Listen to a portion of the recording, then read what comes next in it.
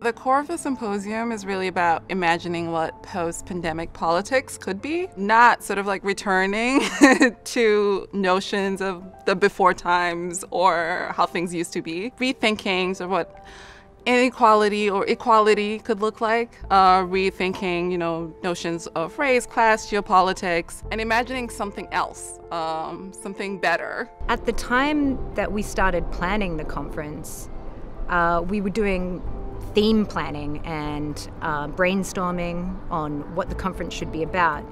And as we were planning out theme ideas, uh, the pandemic started to hit. And then everything changed very quickly. The process was very um, digital. It was very much, um, very much took place over screens um, due to the situation. Um, a lot of it was reimagining what a conference um, should be or what the goals of a conference should be during a pandemic. So, as you can imagine, there were also a number of world events uh, which we were navigating at the same time as planning. I'm filming this interview with you from Beirut, which is where I've been for the last year, all during the conference prep. And um, during one of our uh, weekly meetings, um, an explosion happened in the capital of Beirut. It was um, a really scary moment, and I remember sort of like running around my house and sort of slamming the laptop shut, but hearing um, CARGC fellows asking me if I was okay. We basically witnessed uh, that from the screen, and of course, that was very hard. And it's just one example of the many things that people around the world have been facing this past year. Thinking about anything to do with things that seem a little vague, like scholarship, or theorizing about change when things are happening right outside, uh, felt a little like out of touch uh, for a while. When we started to think about the theme of the conference, the pandemic was just starting to happen.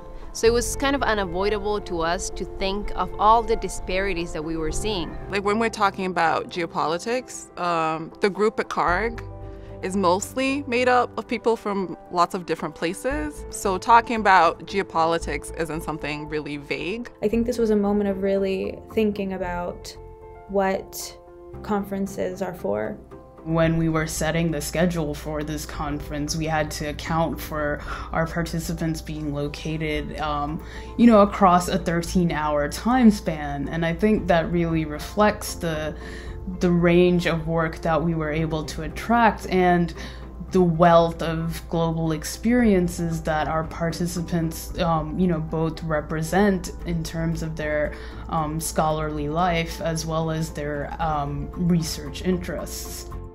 I think that this event is also allowing allowing us to learn more about how to make international connections when you are far away and distance. And that can be really hard in a conference. Uh, so we're hoping to sort of bring these people from different institutions, different places globally, um, and just make it feel more intimate. We want it to be more than just a conference where people come and present their work.